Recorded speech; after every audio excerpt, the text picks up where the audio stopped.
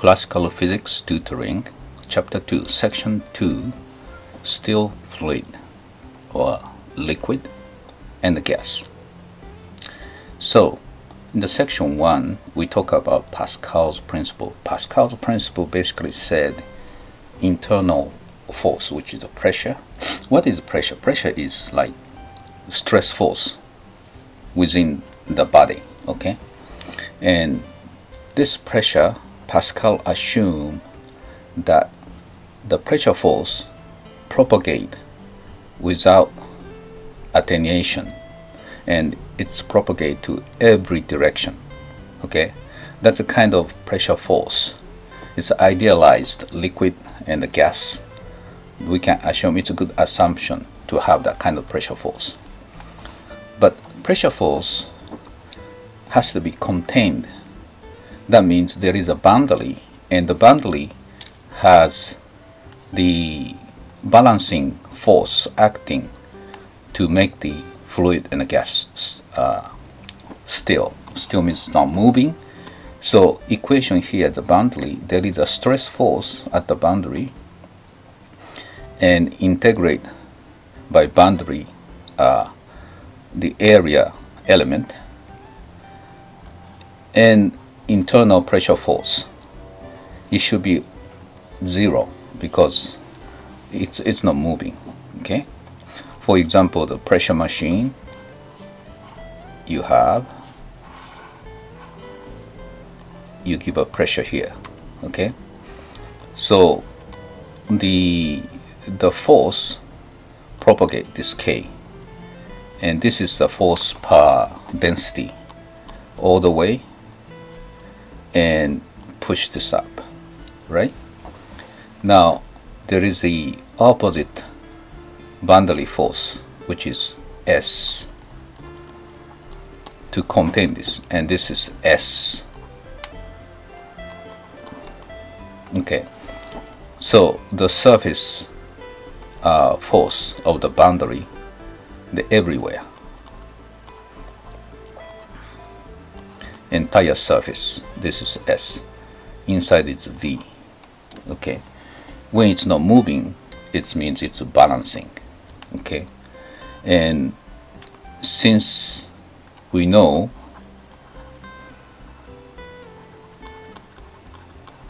dA is going to be volume integral uh, gradient S we need to go back to the vector calculus for review. So if we change this then this become volume integral. So we combine them together. This is the condition to be still not moving. All the forces around this liquid is the balancing okay? Now this uh, surface force. The it's it's a pressure is working from inside. It's opposite direction. So if we use the pressure then this is going to be the equation. Because P is negative the force from outside. Okay that means this K pressure force is gradient P over rho, assuming the density is const, constant. So remember this equation, capital P, this is the potential and this is a force. So it's like potential field gravity the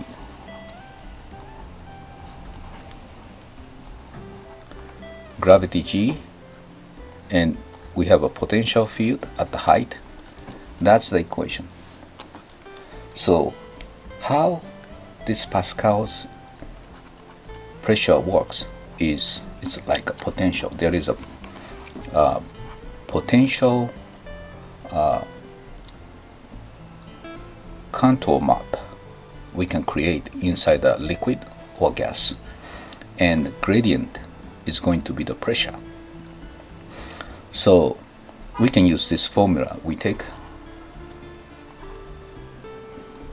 one to two point line integral the pass delta p. So rho k line integral gives the delta p. Delta p is from 1 to 2 this dp right? So we know equation dp over rho is going to be k dr now let's handle a little bit more uh, general case. If rho is function of p and some of gas is yes water is constant. But gas we cannot assume it's constant because uh, the internal pressure the quantum um, is going to determine the internal pressure and also change the uh, density law for the gas so we do a little manipulation. When we have this equation we swap this. You have to follow this okay? Then it's going to be p is not simple. P over rho capital P okay? Capital P is going to be integral of dp over rho. So this is a case that when the density is a function of pressure okay this part of the argument may be a little difficult. You have to review um, the the vector calculus and the previous the, uh, sections to get used to this mathematic manipulation. But basically, if P is like C or density is like a constant p. It's linear relation. Then we can put dp dp uh, sorry dp over p equals c k right? And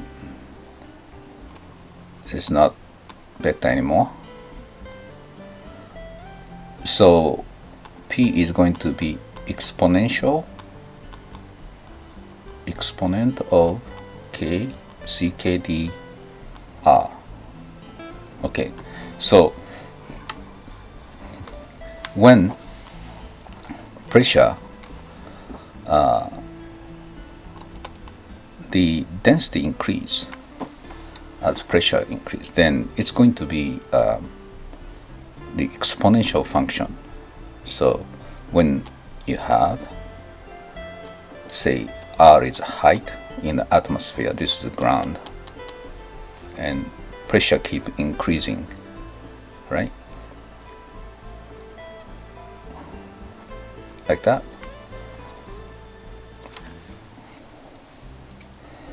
This is the opposite scale. So it's going to be like this. Pressure is very low. This is pressure and height. The pressure is very low. And pressure increase to certain level by the opposite of this exponential. You can tell um, this is going to be negative. So atmospheric um, pressure is a good example for this exponential function. Okay, the when rho is const, constant, like water, the equation is rather simple. Okay, so we cover this one already. The gas pressure is a function of height. and when the gravity potential dictates the pressure, the gravity there is a gra gravity potential which is potential um, function is u and height okay and we bring this into this equation we will get u plus p equals c or p plus rho u equals c. Okay so this is gonna be simplified. If potential is simply z z is height and we assume it's linear within the short range of the height. Okay then it's going to be like this. Now um, I mean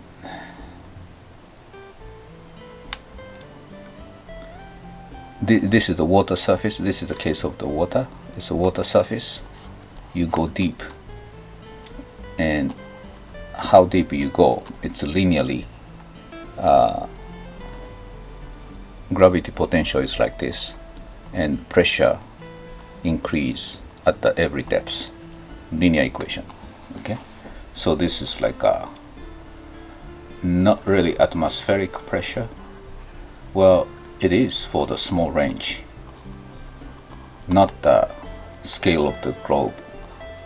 This is like water or short range of uh, above ground atmospheric case. Mm, actually, what happened is rho is a function of p and experimental data shows p equals rho n r over m t okay? And this n this one um, is a constant from 1.2 to 1.4 so this is a pressure um, density function for atmosphere okay? And R is the gas constant M is uh, uh, the weight of the mole. The each gas has a different mole. Atmosphere is uh, mixture of nitrogen oxygen at the some rate ratio and oxygen is 32 gram per mole. And use that number for the M. And T is the temperature. Temperature goes up then pressure goes up. Okay. So with the map the higher pressures happen the higher temperature area. Right? Now um, the using this equation but we assume P rho and P is linear relationship right? Means N is 1 okay so um, this case we already got this equation. But the constant we know more about the constant here. RT GM over RT so that's the constant. Okay. So before we we know it's going to be like this here right? And this constant C using this experimental data and n is very good approximation we can get this exponential function. Okay so um, so that's pretty much uh, what we can deal with in the physics for the uh, still gas and liquid.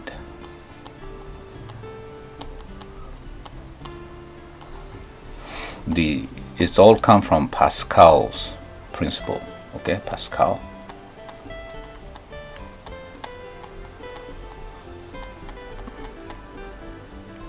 now we're going to expand a little bit the Archimedes principle. Archimedes principle is the internal force. The K in this suppose in the water we assume K is a unit vector pointing down then force or uh, pointing up actually right?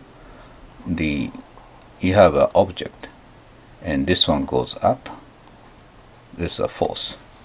And how much buoyancy it will have? That's the question. So what it does is the force acting on this object you integrate to get the total buoyancy right? But this force is pressure and we take only the K component. The other um, component of the force doesn't contribute to the buoyancy. So that's gonna be the total force right? And this using a formula is going to be divergent right? You have this one.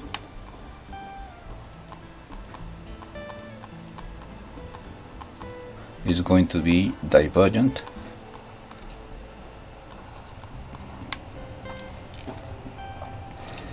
um, K. Assuming rho is constant K. Uh, let's see. Uh, doesn't have to be constant. There's a rho delta V yeah. So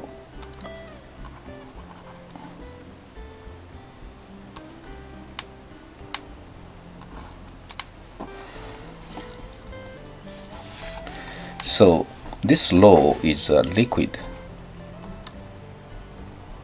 density right? So what happened is liquid density using liquid density the we're going to take integral for the object volume size. So this amount of liquid is the total buoyancy okay? And if liquid is getting denser by depths that kind of liquid then this area get more buoyancy right? The water we can assume pretty much it's a constant. So suppose this is a volume and the liquid uh, density is low. So this is going to be the buoyancy. Okay. And center of buoyancy uh, is based on this liquid um, density. So for the vessel the center of buoyancy is this part. Right?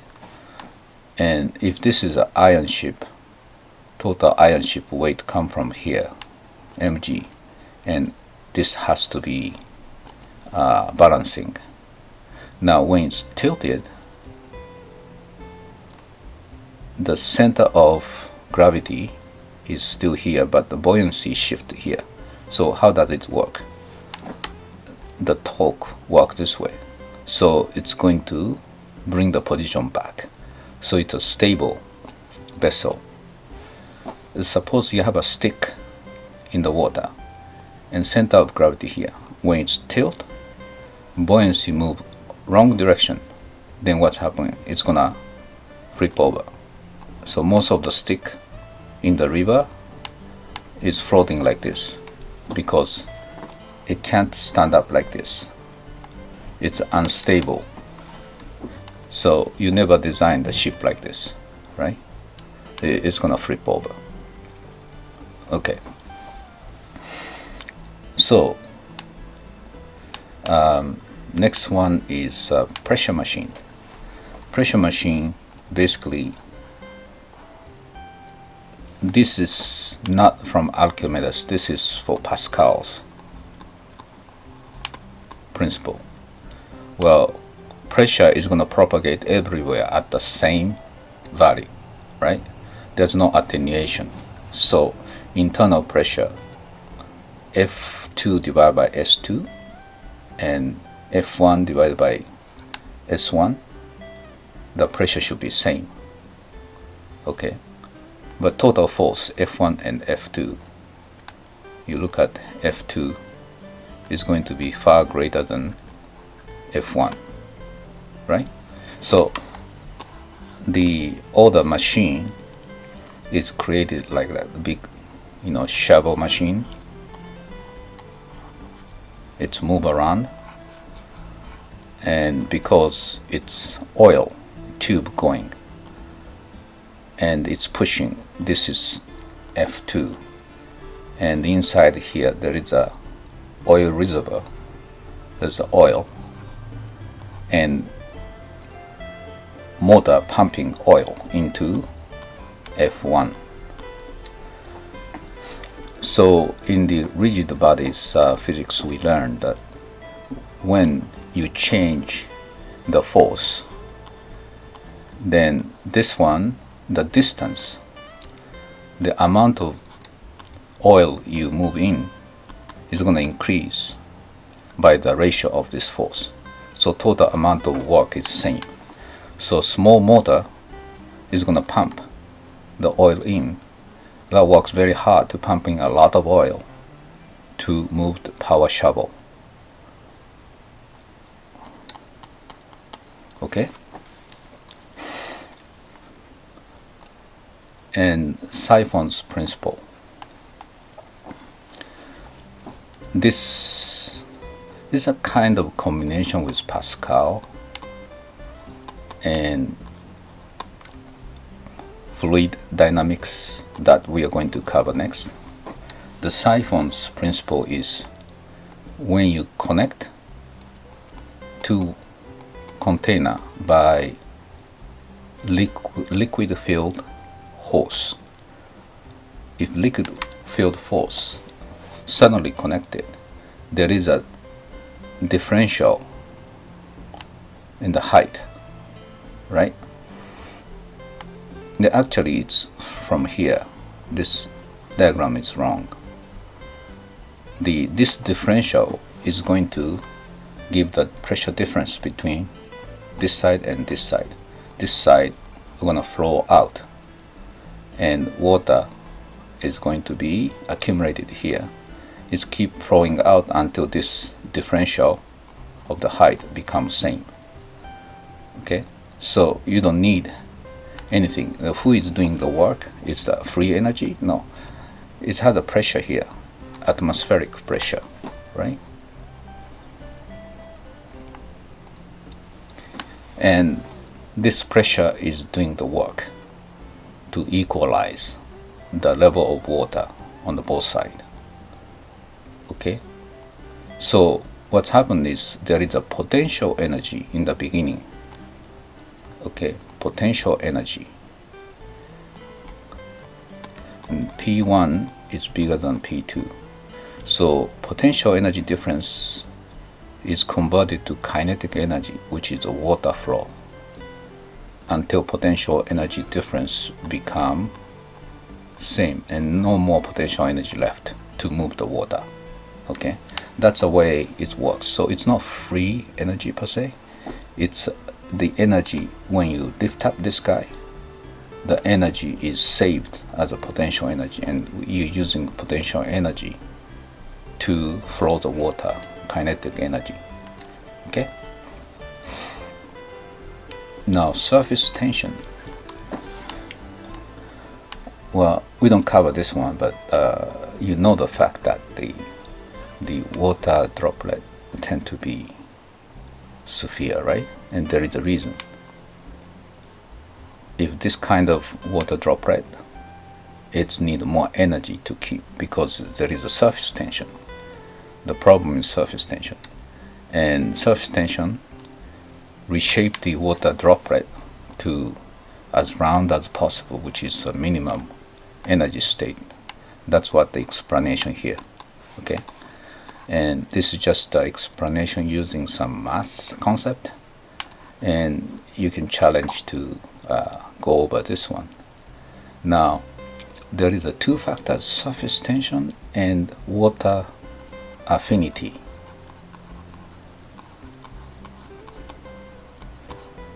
That means how much the material touching water attract the water molecule. Okay, so when affinity is not much, then the water droplet on the surface become still round, but it's kind of crashed round because of the gravity. It need to hold the gravity. This is surface tension. But when you mix the uh, soap, soap increases affinity to the outside material. It's pull. Then water shape become like this. Okay, and you can see this when you have a very narrow glass tube stick in the water, water climb up. Okay, this is called capillary effect, right? And what's happened is the affinity pull up water molecule, okay, and it become like this. But now surface tension is going to minimize the surface, so it's pull up middle section. So end up with like this. So this much water is goes up. The combination of affinity and surface tension. Okay, there's two different force acting to have a capillary effect. And it's kind of interesting capillary effect is when you have a mercury, you stick this narrow glass tube. Affinity is negative. Okay, the glass tube doesn't like mercury. So what's happened is it's kind of try to avoid is pushed down. It become like this. But mercury liquid also has a surface tension so after uh, dislike surface uh, affinity surface tension pull this down. So it's become like this okay? So there are two things important forces acting on the capillary effect. Here's a good example of capillary effect. Water goes up to really high because the tree is gonna bring the water up. There's no mechanical pump or anything. How does it go? It's a capillary effect. That means really tiny tube, cell tube is inside. And the water affinity is strong, it's pull up the water. How about brush, right? And that's also the capillary effect. And this is not siphons, okay? It's not tube. You just soak up and the gravity bring this water down. So water is going to come down here. That's due to capillary effect. And the sugar absorb the water up because the sugar has a lot of hole and tiny area. Its uh, uh, affinity bring up the water and once water come up then surface tension bring up remaining okay? So this all sounds like a free energy right? So let's consider this. Free energy machine right? You put the tiny glass tube into this water uh, pan it's gonna bring water up right?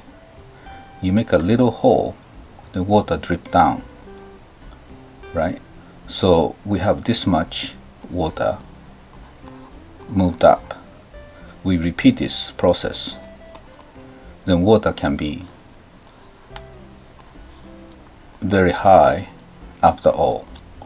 And this much energy is done for nothing? Think about this. This is one of fallacy. okay the it sounds like it's correct but it's not and if you know if you want to know the answer probably I give you in the next video so I hope you enjoy this video and if you like subscribe